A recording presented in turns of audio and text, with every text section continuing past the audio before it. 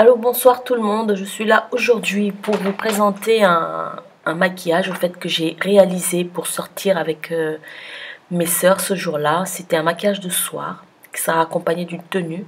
Donc là, je suis en train d'appliquer ma base à paupières de chez NARS qui est le Eyeshadow Base Smudge Proof.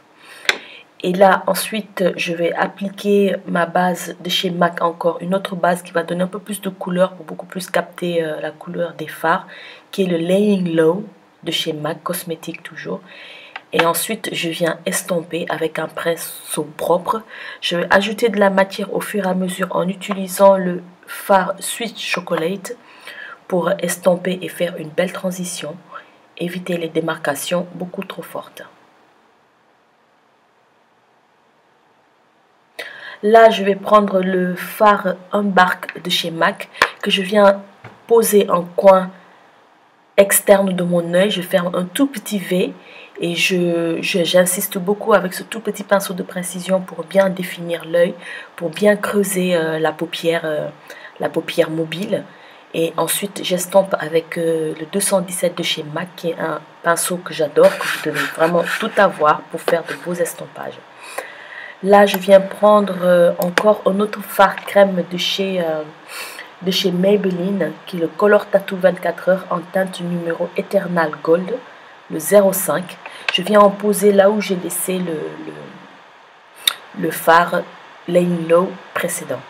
Ensuite, là, j'applique euh, mes, mes, paillettes de chez MAC, qui est d'une collection limitée, mais je crois qu'elle est devenue permanente. Vous pouvez trouver euh, des paillettes de ce genre-là, sincèrement, dans d'autres marques ou chez MAC. Et c'est la référence Gold. Je suis désolée pour ma voix. J'ai une angine. Pardon. Et là, je viens encore ajouter des fards comme... Le Swiss Chocolate, le Humbar que je viens intensifier, j'estompe, j'intensifie, j'estompe.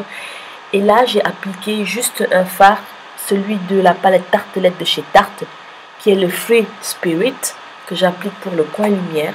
C'est un fard que j'aime bien pour poser en coin, euh, juste euh, sous l'arcade sourcilière pour donner un tout petit peu de lumière je trouve qu'il n'est ni trop blanc, ni trop doré. Il est vraiment la couleur euh, vraiment qu'il me faut, que j'aime bien pour mettre en dessous d'un maquillage euh, assez intense comme celui que je viens de réaliser.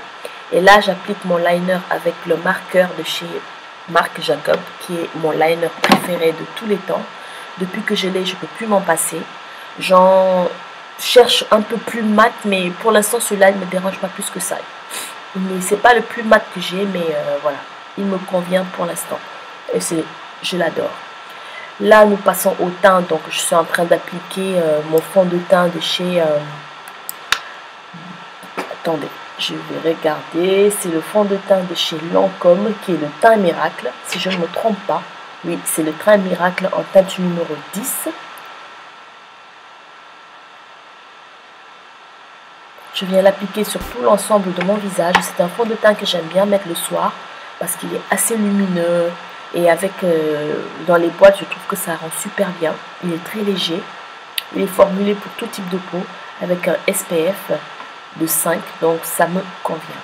Là j'applique mon anti-cerne favori qui est l'anti-cerne de chez MAC euh, pardon de chez NARS en teinte amande et caramel que je mélange pour avoir un, highlight ni trop clair euh, avoir un highlight vraiment assez discret si je peux le dire. Euh, c'est vraiment le type de highlight que j'aime bien. J'aime pas trop les démarcations des highlights entre le highlight, le contouring et le fond de teint.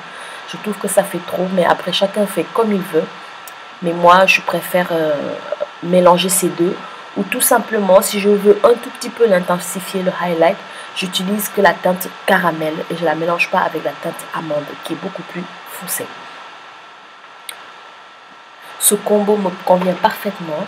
Et là, je prends ma Beauty Blender humide. Je viens prendre mon temps et estomper pour éviter les démarcations trop fortes qu'on peut voir un peu partout.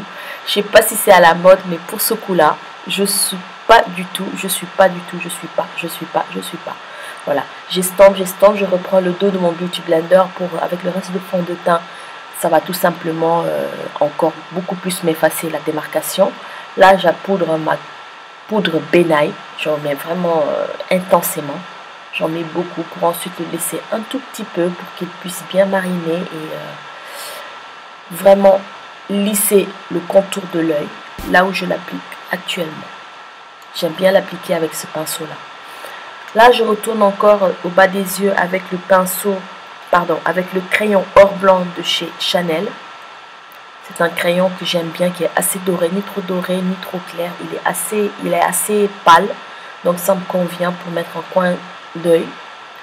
Et là, j'applique mon col de chez Calvin Klein, qui est le Double Ended Eyeliner en teinte 800 Genius Radical. Il est vraiment très très très foncé, très crémeux, ni trop crémeux, ni trop sec. Et j'adore, j'adore, j'adore, j'adore. D'ailleurs, je l'ai presque fini. Là, je reprends mon phare Embark de chez MAC que j'applique juste en dessous du phare, en, dessous du crayon colle noir pour estomper, pour que ça fasse un effet fumé. Je viens un tout petit peu le mélanger avec mon or blanc de chez Chanel. Là, j'applique mon mascara. C'est un mascara, le télescopique de chez L'Oréal, que je viens mettre en, en bas et en haut. Voilà, c'est un J'aime bien ce mascara, mais je le préfère beaucoup plus pour les cils du bas, mais pas pour les cils du haut. Là, je viens appliquer The Star of the Show. C'est tout simplement House of Lashes. Et la référence de ces fossiles, c'est Iconic. Je les ai depuis très longtemps. C'est je crois que c'est le, le seul qui me reste parce que les autres, je les ai tellement utilisés que je les ai bousillés. Là, je suis en train d'appliquer ma poudre, la Mineralized Skin Finish de chez MAC en teinte dark. Je viens l'appliquer sur tout l'ensemble de mon visage en balayant tout un tout petit peu au niveau, euh, au de mon oeil, là où j'ai appliqué euh, la Benai, la banana powder. Et là, j'applique ma poudre de soleil que j'adore, qui est la Terracotta numéro 5 de chez Guerlain. J'adore pour faire un tout petit peu d'ombre au niveau de mes pommettes et au niveau de mon grand front.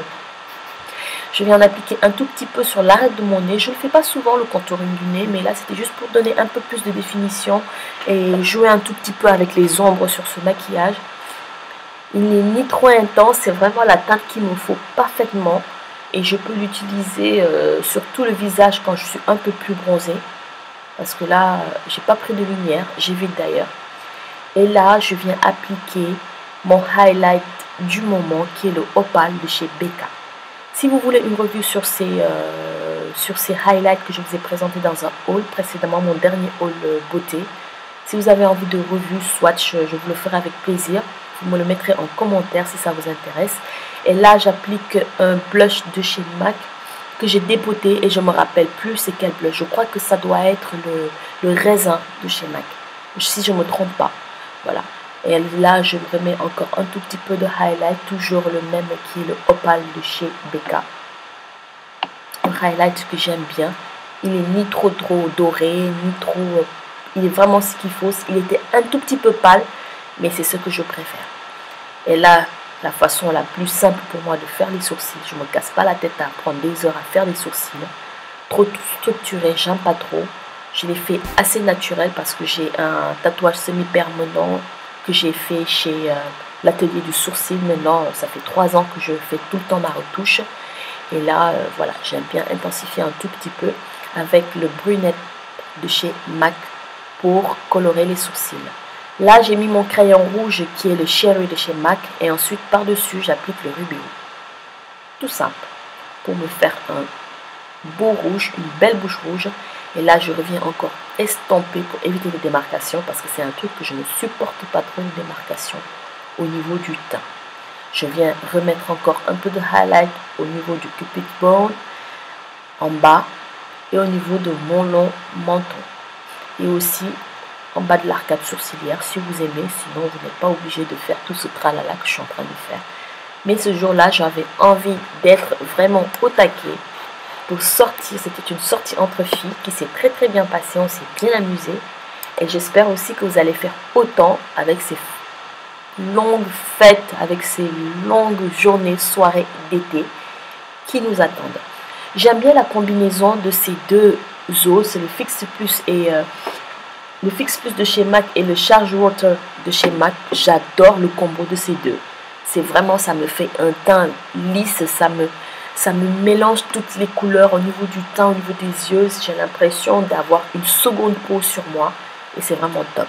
Là, je vous laisse avec la tenue. Désolée, le montage, j'essaye en ce moment un nouveau logiciel qui n'est pas du tout évident. Et donc, je vous laisse avec la tenue. Je vous fais de gros bisous. Prenez soin de vous et je vous dis à très vite pour d'autres vidéos. Ciao